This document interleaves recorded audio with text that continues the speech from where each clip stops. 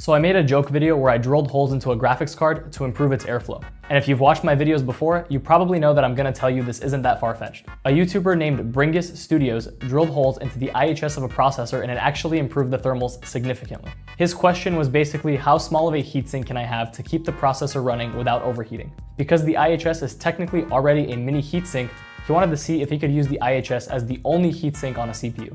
For the test, he used a Dell Optiplex 3040, which features the Intel Pentium G4400 processor. First, he stress tested the processor with the CPU fan unplugged, and it took 5 minutes to reach a dangerous temperature, which is actually a pretty long time. Then he removed the CPU fan and used external fans to blow air at the CPU, but the processor was still hitting dangerous temperatures. Nothing was really working until he was using a leaf blower, and then the temp started going a lot lower.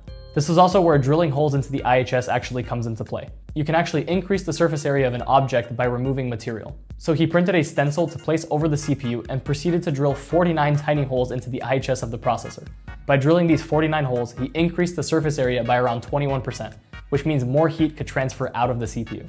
And then he ran a Half-Life 2 benchmark, he set up the leaf blower again, and started testing. The CPU with holes in it was performing significantly better, while the CPU without holes hit 100 degrees and thermal throttled. So yeah, basically drilling holes in PC hardware actually has some merit, and be sure to check out the full video on their channel because it's actually very entertaining.